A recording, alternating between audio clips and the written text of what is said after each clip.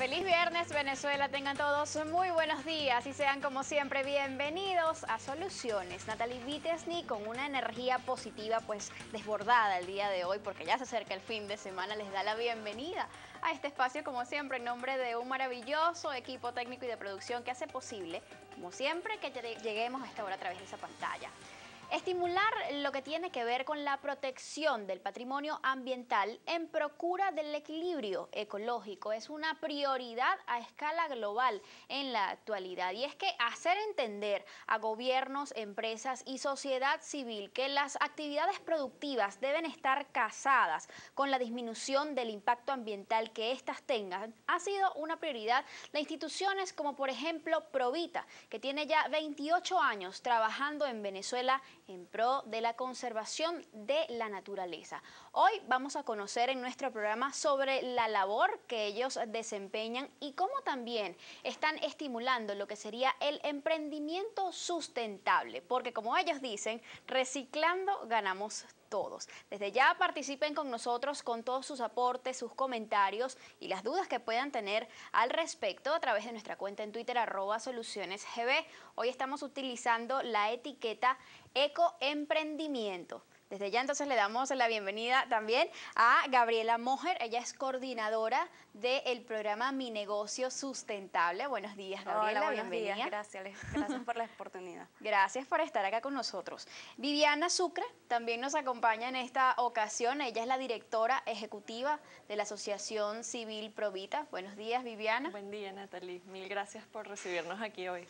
Gracias a ustedes por estar acompañándonos y conversar sobre la labor de esta institución que pues ya tiene casi tres décadas, ¿no? Desempeñándose en el país y aportando muchísimo en pro de lo que sería eh, el, cuidado del patrimonio ambiental tan importante, sobre todo en épocas como esta, donde, digamos, los ojos del mundo giran y las iniciativas van dirigidas a, digamos, hacer un mundo muchísimo más sostenible, a reducir lo que se llama también la huella ecológica. Vamos a comenzar un poco analizando todo este tema. ¿Consideras tú, Gabriela, eh, que la gente tiene conciencia, la mayoría de las personas, sobre el vínculo que debe existir entre las actividades productivas en el país, todas ellas, con lo que tiene que ver con la conservación del medio ambiente? Oye, yo creo que sí pero todavía es un tema en el cual no se ha abordado completamente. Creo que es algo que tiene que ser eh, en unión tanto de las empresas como el gobierno, como gobiernos regionales, gobiernos nacionales, gobierno central, y que todas las políticas sean enfocadas a que nosotros mismos, los que sean eh, dueños de empresas, los que estén trabajando en cualquier tipo de ente, entiendan y comprendan todo eh, todas las las consecuencias que puede generar no conservar nuestro ni preservar nuestro ambiente. Puede venir desde el gasto que uno puede tener en el cual transportas la, la basura que generan todas nuestras comunidades, como también puede ser la producción de nuestros alimentos y obviamente todos esos factores influyen en el cambio climático, que es lo que nos está afectando hoy en día en nuestro, en, en nuestro mundo y bueno, obviamente en Venezuela. Así es. Viviana, ¿crees tú que, por ejemplo, en el caso de Latinoamérica, los gobiernos sobre todo han comenzado a trabajar para satisfacer esta necesidad? Sí ha habido, ha habido muchos esfuerzos, pero quizás no son suficientes, ¿no?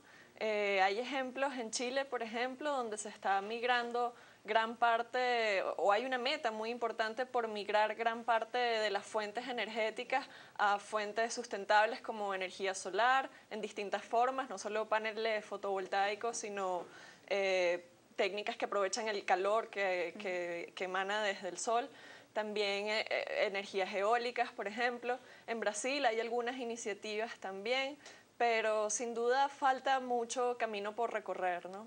Ahora, puntualizando un poco, ¿por qué crees, Gabriela, que es tan importante abrir los ojos, sobre todo del, sector productivo en todos los países, eh, dirigido justamente a la necesidad de disminuir el impacto ambiental?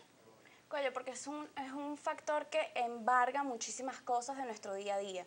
No solamente la parte de que cuando produces algo generas algún tipo de residuo, sino el impacto que le estás generando tanto a un ecosistema como a tu ciudad y en, un tema que a mí me gusta, me gusta mucho, que es la, la, parte de la alimentación de los, de los seres humanos. O sea, no solamente eh, todas estas eh, consecuencias generan, generan eh, costos negativos tanto para los animales como los ecosistemas, sino también para la parte de la seguridad alimentaria, que es algo importante en la, en la región productiva de, de, de, todo este tipo de cosas que estamos conversando. Así es. Ahora, ¿qué hace en nuestro país una asociación civil sin fines de lucro como Provita? Provita tiene, como tú bien mencionabas, ya 28 años. Eh, de venezolanos para venezolanos trabajando siempre en Venezuela. Tenemos muchos aliados internacionales y estamos muy agradecidos por eso, pero nuestro foco es aquí en nuestro país y es nuestra prioridad realmente. Y en estos 28 años los esfuerzos han sido muchísimos, han sido probablemente cientos de, proyectos. Eh, muchos de ellos han estado enfocados, eh, y ese fue además el motivo por el cual nació Provita, en dar a conocer a las especies venezolanas eh, amenazadas, ¿no? De, extinción. Pues. Un rescate hacia la biodiversidad. Sí, el foco siempre ha sido este, la biodiversidad y al inicio pues la idea era dar a conocer que hay muchos venezolanos en extinción, ¿no? Hay muchas especies eh, en peligro en nuestro país y además en muchos casos son especies que solo están en nuestro país, o sea, son especies endémicas, que es el término pues, científico para, para, hacer referencia a eso. Entonces, pues al inicio eh, se arrancó con muchas campañas educativas. Una de las primeras dio a conocer el oso frontino. Eh, pocas personas en ese momento sabían que había un oso en nuestro país. Es el único oso que realmente hay en toda Sudamérica. Que además tiene un antifaz súper hermoso. Sí, es, es, precioso y muchas veces pensamos en el oso panda y no nos damos cuenta que, oye, aquí hay un venezolano que es el oso frontino que, oye, es tan cuchi como el panda, me perdona. Este, entonces, bueno, así surgimos, este, dando a conocer al oso frontino inicialmente. Luego era una inquietud muy importante, pues, saber cuál era realmente ese estado de conservación de muchas especies. Y se trabajó en aquel momento, era un grupo de estudiantes de la UCB quienes fundaron Provita convencieron y reclutaron a muchos de sus profesores para hacer una evaluación científica sobre las especies que quizás estaban en peligro en nuestro país y para ese momento todavía no se sabía.